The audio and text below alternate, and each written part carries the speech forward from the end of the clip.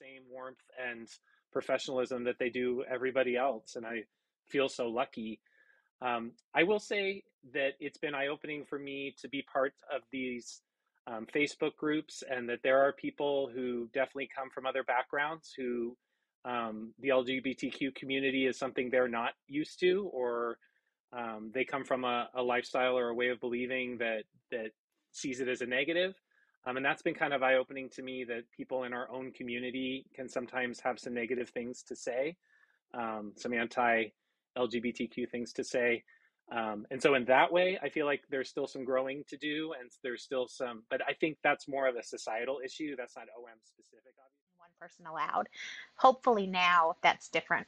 Um, as far as what I would tell someone, it's really ironic that this is the question because, like I said, on Sunday, Saturday, my sister in law found out that her childhood friend may have ocular melanoma, and she is seeing my eye doctor, Dr. Matt Wilson, in Memphis tomorrow to find out and have all the testing done.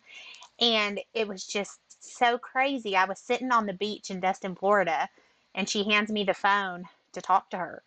And what I found myself saying to her was to have hope. Because I said, You're talking to someone that's 13 years out. You know, it's not a death sentence. It's not like you're going to die tomorrow.